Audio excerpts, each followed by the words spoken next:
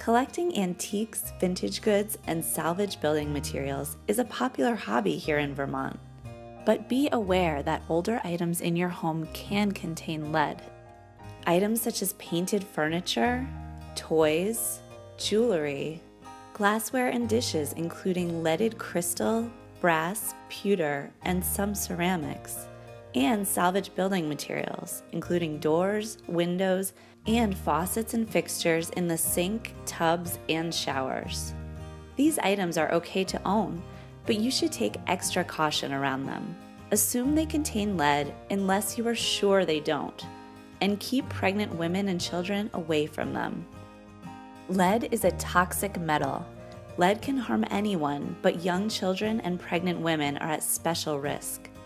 Lead poisoning in children can hurt the brain, kidneys, and nervous system, slow down growth and development, make it hard to learn, damage hearing and speech, and cause behavior problems.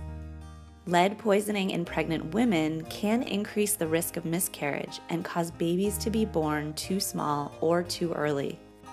A blood test is the only way to know how much lead is in your body. Don't eat, drink, or store food or liquids in vintage dishware that may contain lead.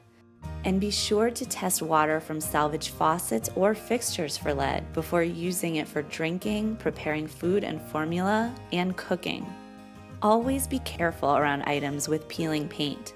Sealing with a clear coat finish can preserve this look and make it safer.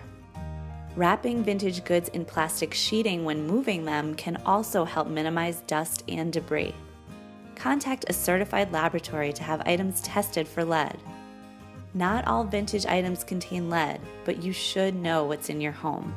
For more information, call the Vermont Department of Health at 800 439 8550 or visit healthvermont.gov.